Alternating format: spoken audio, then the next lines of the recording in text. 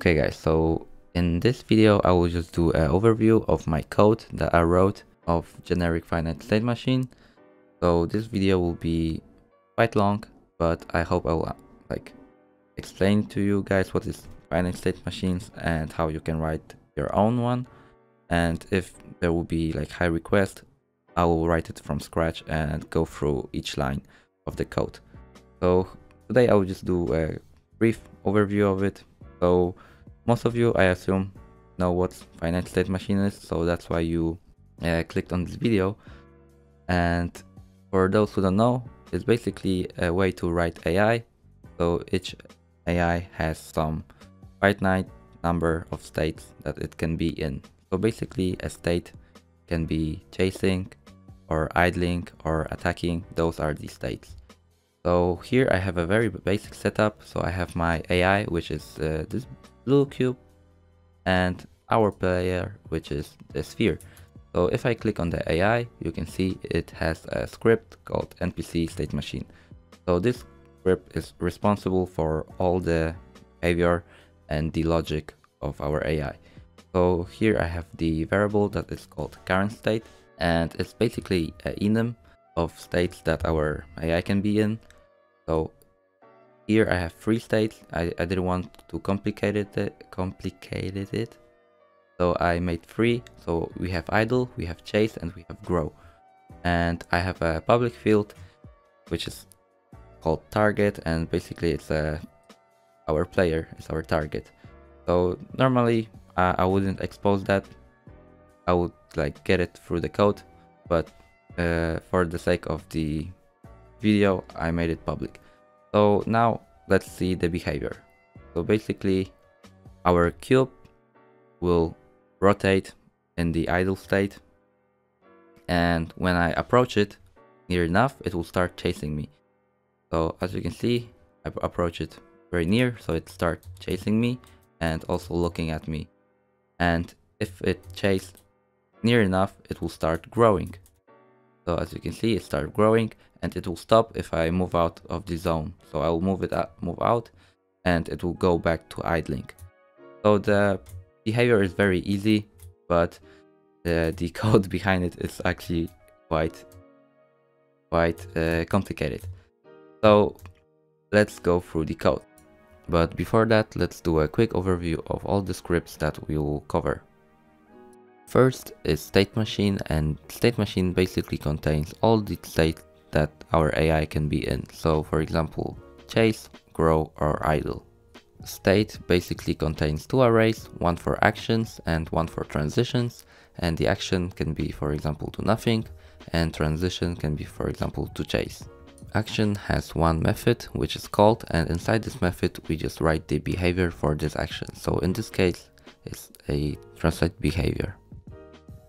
Transition contains the decision class which will basically decide whether we should go to success state or fail state. Lastly, we have the class decision which has one method which returns bool and in this case it will decide whether we are in range or not. Okay guys, so now let's dive in into scripts. So I'll pick the easiest one which is base action, so let's double click on it.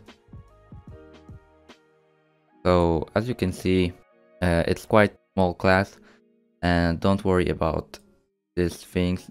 Basically, this is just the interface which has two methods called onState enter and onState exit, which I can call when I enter a state. But don't worry about it and don't worry about this param parameter t. Uh, it stands for generic, but we don't worry about that for now. Uh, one thing we have to know is this class is abstract and the reason why it, it's abstract because we want to derive from this base action class. So we have to make specific actions. For example, for the idling state, there was there there was a rotate action which just made our cube rotate. So here next we have the owner of this state machine. So it's T because it's generic. So for example, if you have your NPC, the T will be NPC. You can have other NPCs, for example, you can have I don't know, you have you can have the tank and the tank can have other parameters than the than the wolf, which is an animal, but it can also be an NPC. So T is just stands for generic type, so you can have everything here. So here we have just stored the owner of our state machine so we can access its data.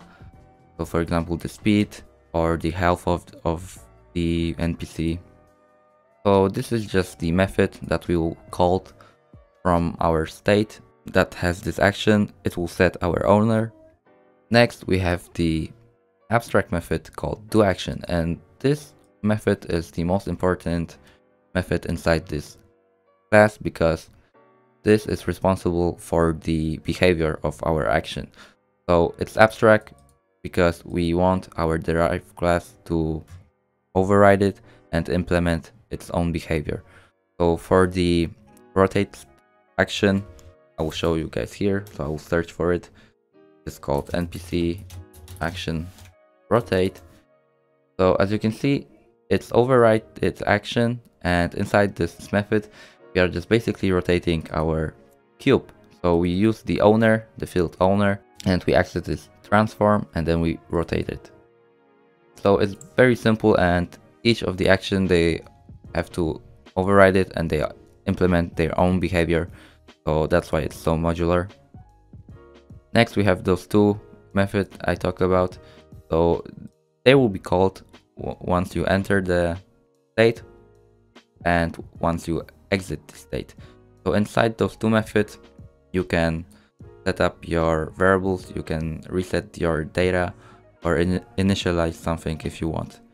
So they are virtual, because I don't want our derived class to have to override it. So they don't have to override it. It will be empty by default. So that's why here you could see that we are not overriding it because we don't need anything to do when we enter in the state and exiting the state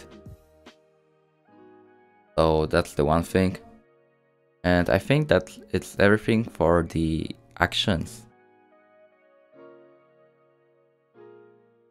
Okay guys, so now let's talk about the other array, which is the transition array. So now let's open it. So as you can see, again, we have the t parameter and the t is or again just to assign the owner. Not nothing complicated. I can explain it in further detail if you want me to do, but it will require more time. So it's just a class. Uh, it's not abstract or anything. It's just a class. And the reason why it's just a class because all the transitions they are all the same. The logic for them is all the same. So basically you have two states so here we have a success state and we have a fail state and they will be called they will be transitioned into based on some decision so we also have the variable for the decision and this will just return true or false. So if it's returned true, our state will go to the success, success state. If it's false, it will go to fail state. So it's very simple and all these transitions, they have the same logic. So basically, based on some decision, either goes true or false. So that's why it's a class. We don't want to derive from it because they are all the same. You can actually derive from it if you want to have some custom logic inside the update uh, method that is called during the do transition but I don't recommend that and I don't see the case where you should actually do that so let's go back to the first line so we have this name of the transition and this is purely used for me for the person that is writing the the behavior. So you can name it from idling to chase or from chase to grow and it's just a description of your transition. Next, those two states I talk about, you already know, they return int because we are using the enum and the enum is basically an integer. So it's the most simple way to change the states, to store the states as the integers. Next, the base decision. Let's dive into base decision script. So inside the base decision script, you can see it's very si similar to the to base action script. So again, you just set the owner of this state machine. Then we have the abstract method, which returns bool, as I said before. So it will it will return either true or false.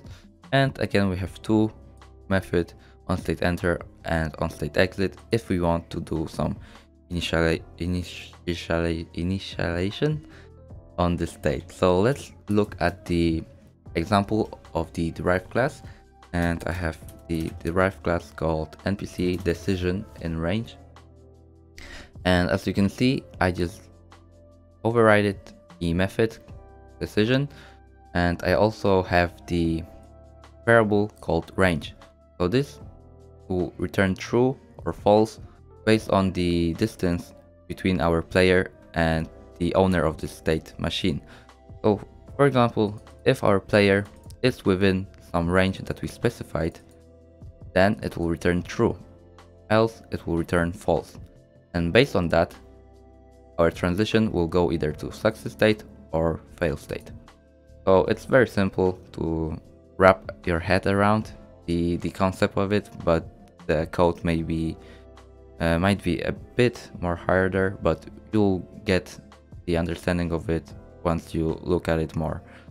So next, we just have the basic co uh, constructor.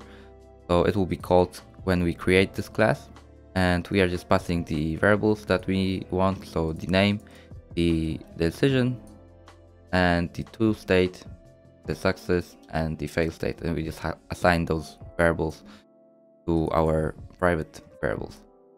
Next, we have a method called setOwner, and this will just basically set the owner for our base decision here. After that line, we have a method called doTransition, and this method is returning the int, so it will return the state. So inside this method, as you can see, it will just return either success state or fail state based on that decision and value that is returned will be used in our base state, which I will talk about later on. And at the end, as you can see here again, we have on state enter, we can do some different stuff also here, but I'm just calling the on state enter for my decision and on state ex exit for my decision. Okay guys, so now let's talk about the base state class. So as you can see, it's an abstract class because we want to derive from it.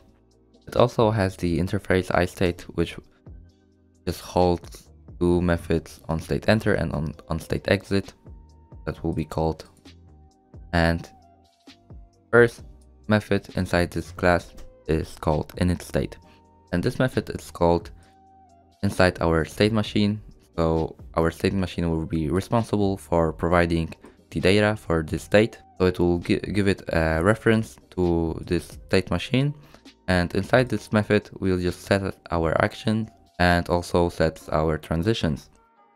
So if you look at it, those two methods, they are abstract. And the reason why they're abstract because we want to implement it inside our inherited class. And each of the inherited state, they all have different set of actions and they have different set of transitions. That's why we couldn't do a virtual method here. So if I go to the derived class called npc state idle, you can see that all, all it does is just inheriting from the base state and it's overriding two methods. It's, it's overriding set transitions and set actions. So inside set actions, we are just assigning the new array to our variable m action, which is stored inside our base state. So if I go back to the base state, you can see we have two arrays. We have one array to store our actions and we have one array to store our transitions. So let's go back to the npc state idle. You can see we are just assigning a new array and inside this array we are just passing which action we want to have in in this state. So we want to have two actions. We have one action for idling, which does nothing, and we have one action for rotating our owner. So that's everything for the set actions and we do the same with the transitions. We are, we are just assigning the new array of transition and we specify what transition we want here. So you can see we want a new transition and we call it to chase. So it will check if we should go to the chase state or not. And we pass in as the decision the new class called NPC decision in range. So it will check if our player is inside range of 3 and if it is, it will go to NPC chase state here and if it returns false, it will go to the idle state, which is the current state. So that's the NPC state idle, so let's go back to our base state. So next we have a method which is set owner. It's just basically set the owner for this base state and for all the actions and transitions inside this base state.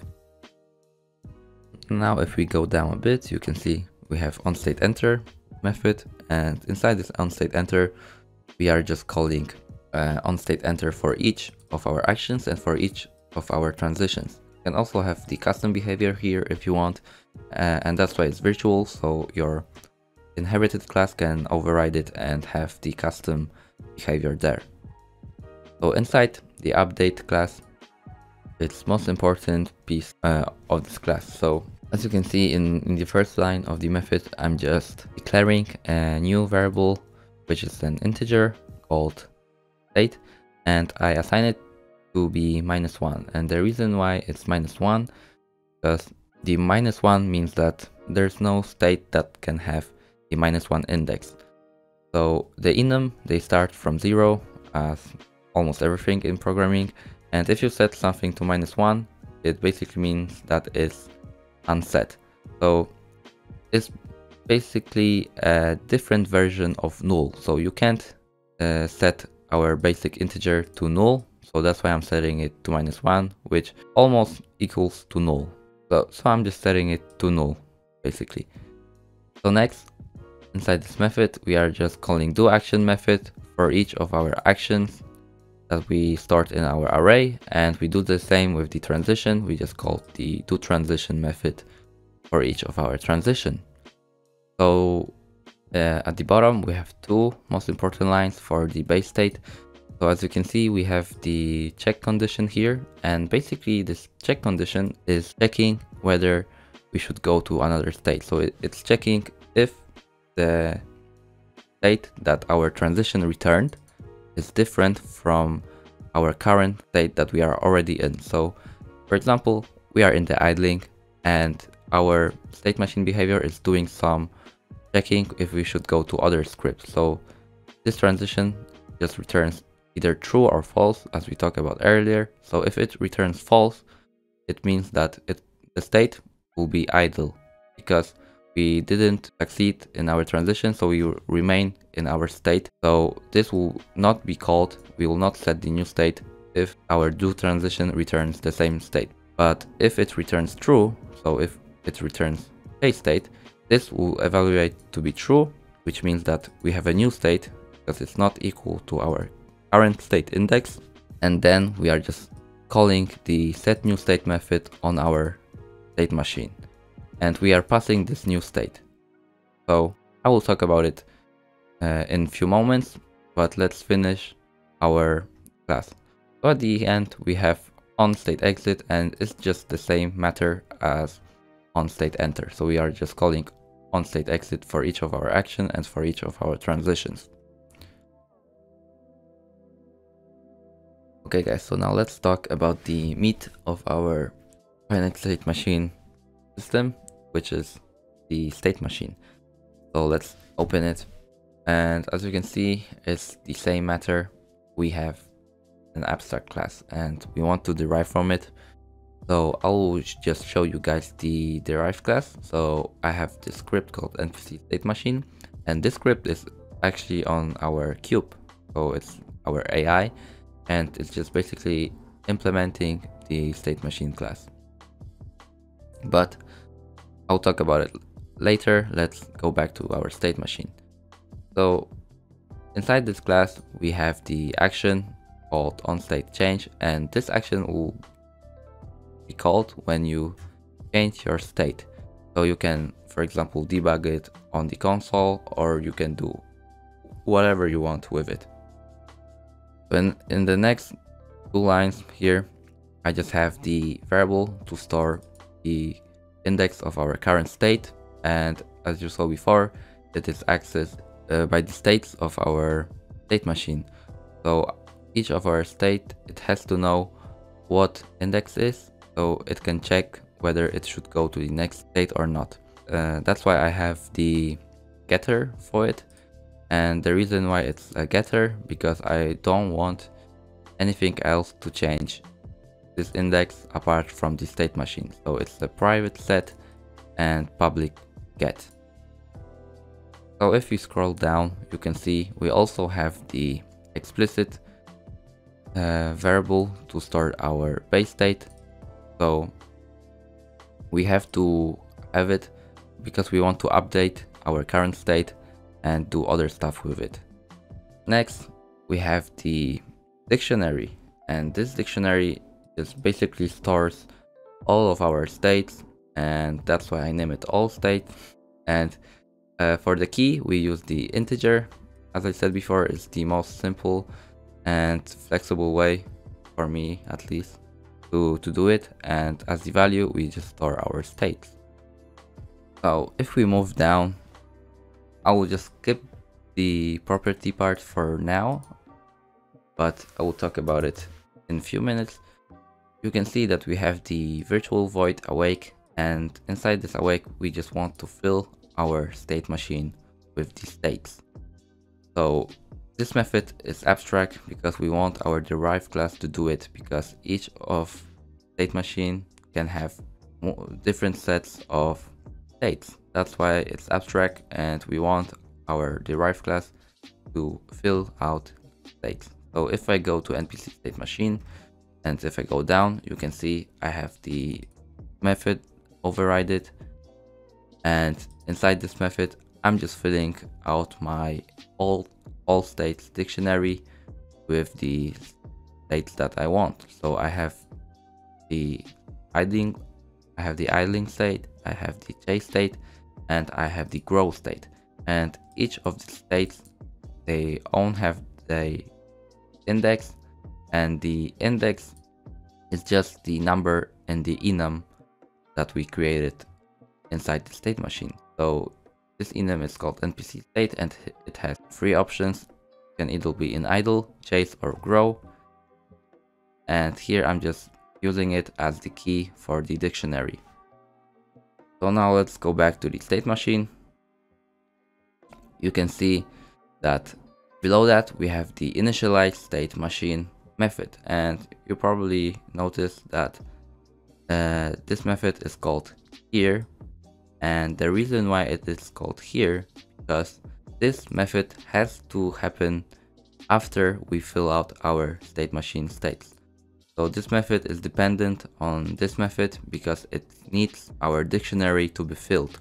So this will return null if we call it before fill state machine states. So we have to make sure that this method is called after fill state machine. And the way I did that is I made a property which is public get and I have the custom behavior inside this set block. So here I'm just setting the value incoming to our all state but after that I'm calling initialize state machine. So doing it that way I can be sure that this method is called after we fill out our all states because we fill it out just before right here. So inside this method, we are just doing initialization, initialization stuff. So I'm just initializing our current state index and I'm just initializing our current state. So you can see that we have the argument here and set to null by default. And the reason why it's set to null by default because I don't want to pass begin state each time I create a new state machine. So that's why it's set to null and when it's set to null, it will just pick first from the dictionary. So here you can see, I'm just checking if it's null. If it's null, I will just pick the index 0, which is the first one. And this is the same for the current state variable. You can see that we have the weird operator here and I forgot the name of it, but it's called nullocancel or something. And what it does is basically checking if this value is null. If it is, it will use the value on the right hand side of this of this expression. If this value is not null, it will use the left hand side value instead. So below that, I'm just looping through my dictionary and I call init state for each of our state inside this dictionary and last I'm just calling onState enter method of this of our current state that we just set. So moving on we have the update method and inside this update method we are just calling onState update on our current state and we are passing uh, time.delta time so you can do um, interpolating or or something inside the states. So last thing, last method is called set new state. As you can see, this method is called inside our base state. So if I go here, uh, if you remembered, this method is called here when we when we transition into a new state. This method will be called and we are just passing the new state index. So you can see it takes a new state index and we just uh, we are just setting our current state variable uh, we are just setting our current state index variable to our new state index and we are just calling appropriate things. So we first want to call on state exit of our current state that we are in. Then we want to assign a new state to our current state variable and we do do that by just passing the key our dictionary so it will get the correct value based on that index. And after we set it to the new state, we just want to call on state enter of that fresh new state. And at the um, at the end, we just call the at the end we just call the action the delegate so you can subscribe to that action and as I said do whatever you want. So that's that's everything for the state machine guys. As you can see here inside on enable uh, in, the, in the derive npc state machine class i'm just subscribing to on state change and on disable and on disable i'm just unsubscribing from it. So this this method is basically setting my current state enum to be the new enum. And that's everything i do inside this npc state machine. So if you if I go back to the Unity, you can see that this current state here will update each time I go to the new state. So it's now in the idle. And if I go close enough you can see that it uh, it changed itself to chase. And if I go close enough it will change it to grow and then back to idling. So that is how you can use the on-state change delegate. So I think that's everything guys I wanted to say as the basic of the state machines. There are a lot of more stuff more to say and I don't know if I'm able to do it because I'm not that good at explaining stuff yet. So I hope you understand something and I haven't touched the generic part of it because I think it will be too complicated. I think it's already complicated. But if you want me to do a full tutorial, I'll just do it from the scratch and that's way it will be a lot easier to understand the code. So thank you guys for watching and I will see you guys in the next one. Bye.